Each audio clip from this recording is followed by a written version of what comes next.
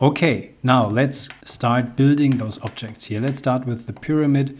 We take the rectangle and we search for the square help line here, the diagonal line.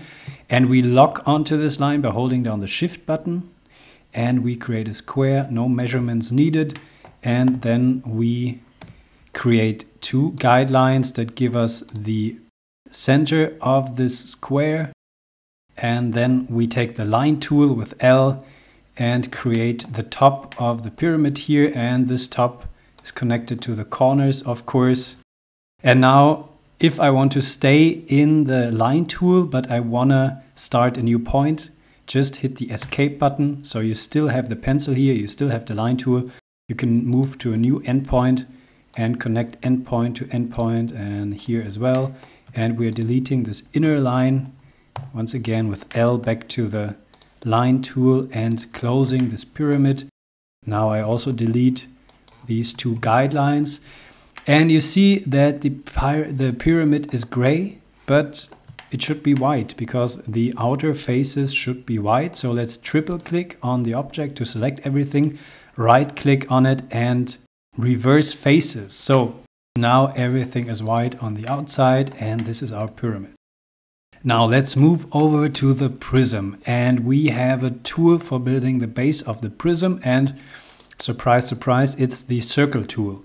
We have a circle tool here, but then we have this polygon tool here. There's only one difference and I can show you if I select the circle tool, you see it says sides 24, which means that if I create a circle, it's made out of 24 segments, 24 sides that you see here. So you see it's not a perfect circle. It has 24 sides. And if I take the polygon tool, you see that it says sides six. Okay, and now we have this polygon with six sides. But it really doesn't make a difference. You can always go to C for the circle tool and then you can you can enter the number of sides that you need.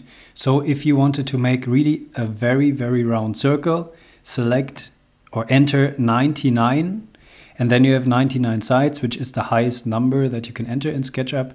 And then you have a very, very round circle with 99 segments or sides. But you can also go to the circle tool and enter three. And then you have a polygon with just three sides.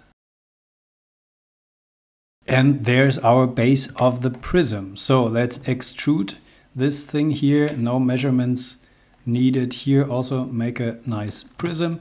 And now the prism with five sides. Well, you probably have guessed by now we can take the circle tool and we are still in the three-sided mode, but let's enter five. So you see here it says five now and enter. And now we have five sides. So we can make this pentagon shape and also extrude it. So we have a prism with five sides. I'll take the other prism as a reference. Okay.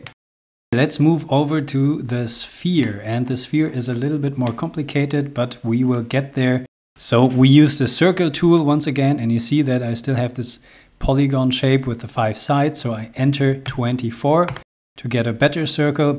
But actually to get a really, really nice sphere, which is round, which is really round, we have to start with a really good sphere. So hit the C key once again and then enter 99 because we want to now we now want to have a circle with 99 sides.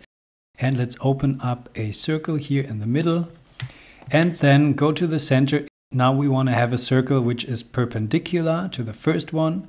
So we press the arrow key to the left and you see our circle tool now is green and we click on the center and we open up another circle here. We don't need any measurements, just open up a circle. Okay, how can we create a sphere now from those two intersecting circles? Well, we have a tool for this, which is the follow me tool. So you find it here where you find the push and pull tool.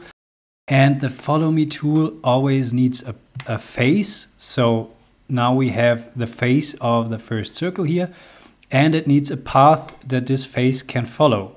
So the, our path should be now this other circle here. So let's try this. First, I'm going back to the select tool and I select my path to follow. So I click on the first circle here on this outer line of the first circle. And then I get the follow me tool and I click once on the face. And you see now it has created a sphere. Okay, and then one last thing. How can we create a segment that looks like a piece of pie? Well, we also have here the arc tools and then we have this pie tool. We can define a starting point and then once again a reference line. And now we can open up this piece of pie and enter an angle for example. Let's make it a 45 degree piece of pie. And we can extrude this and then we have created this certain this kind of segment here. So this was some very basic geometry in SketchUp. Remember that you have 3D text and 2D text and sometimes 3D text is better, sometimes 2D text is better. And you have the circle tool, which lets you create polygons with a number of sides between 3 and 99. And you have the follow me tool that lets you create spheres, a perfect sphere. And there is much more in the toolbox. For example, you also have this pie tool, which lets you create those shapes here.